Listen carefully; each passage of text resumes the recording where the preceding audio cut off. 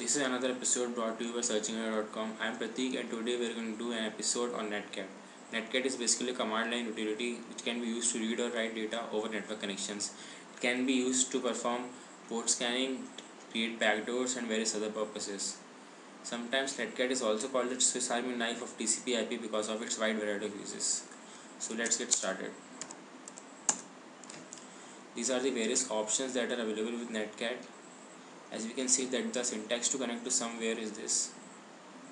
And to listen to inbound connections is this.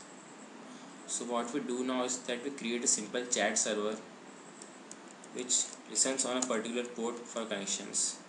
For that the command will be netcat dash l dash p and then the port number. So in this case we choose a random port 4444 and listen to it. Now we connect to that port by typing the command netcat the IP address which is a local loopback IP address in this case and the port number. As you can see that a connection has been established. And now if I type hello it goes transferred. It gets transferred over to this port.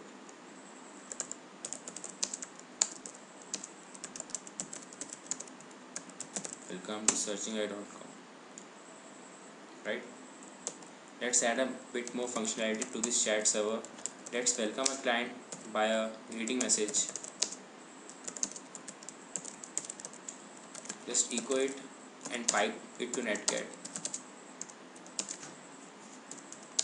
Again the port number is 4444. Let's make it a bit more verbose. The more the number of keys, the more verbose it is. And let's output the captured packets in a particular file.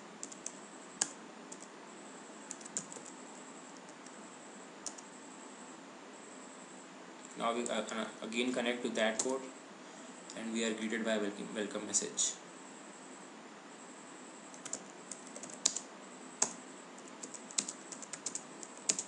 Right? Let's now go over to the file in which we saved our packets and see what's actually in there. As you can see the hex dump of that of the captured text is saved in this file so it also captures the data that flows across between these two ports. Netcat can also be used to transfer files. Say if you are on a computer and you want to transfer the contents of a particular file to another host on a on the same network or on a different network uh, netcat can also perform this kind of operation. Um, for example if, you, if I want to transfer the contents of my password file in Unix to another port I'll use the following command. As we know that the password file is stored in etc slash password and let's pipe it to netcat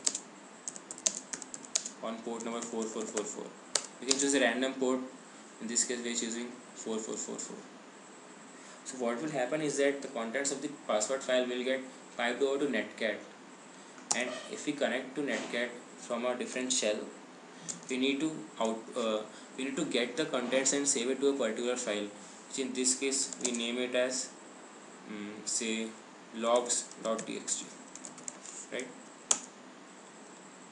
So the contents have been transferred. Actually in netcat we don't get the progress bar showing whether the transfer has been complete or not. So it's better to use some other program but netcat can also perform this kind of operation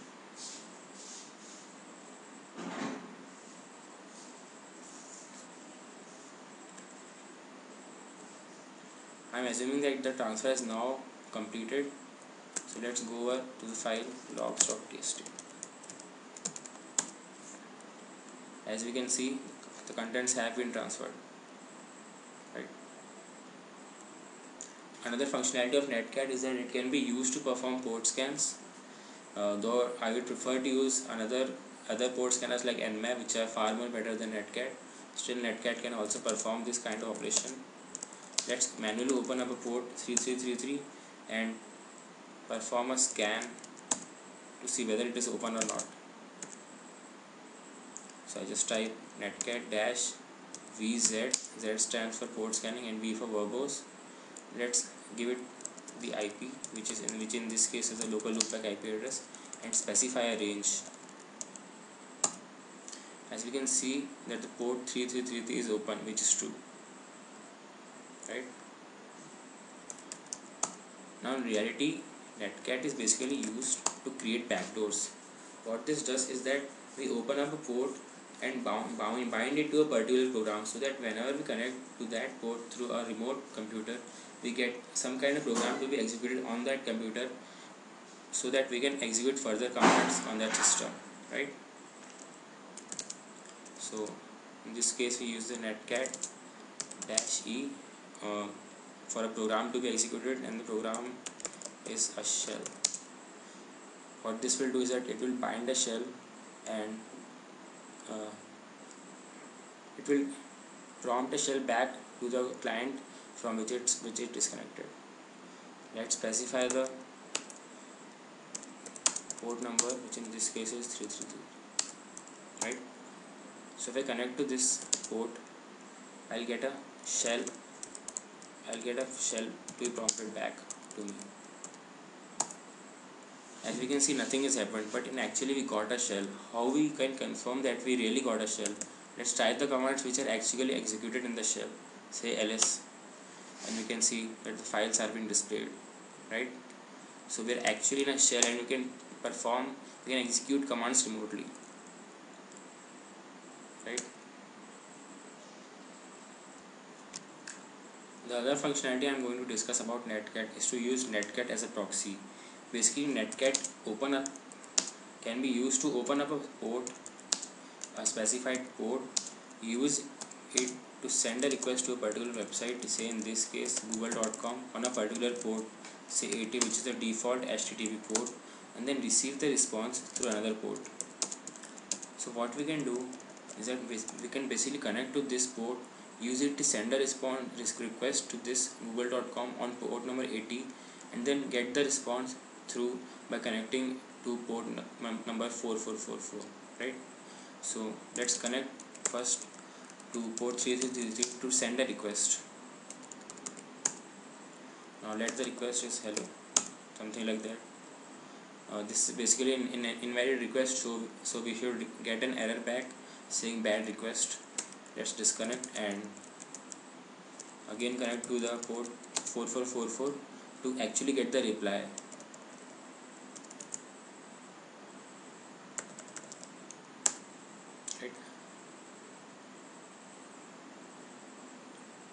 So in the reply it's written bad request. Obviously a request should be some some kind of a get or a post request right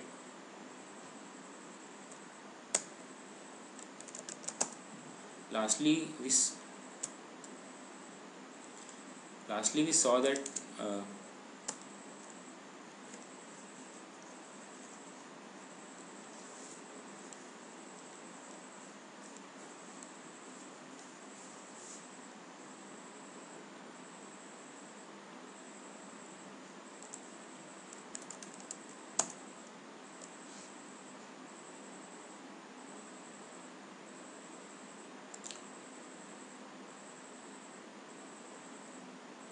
Lastly, I will show how to write a script so that the server does not disconnect when the client or the server does not close the connection when the client disconnects from it. So just write a simple piece of code while true do netcat and then give the options whatever there are. V for verbose listen on port number 5555 and then complete. Right? So if I now connect this port and now if I close the connection I see that the server is still listening right? So by writing this kind of code we can basically execute the server or tell the server to remain up throughout the entire period right? Well that's it for this episode on netcat. Thank you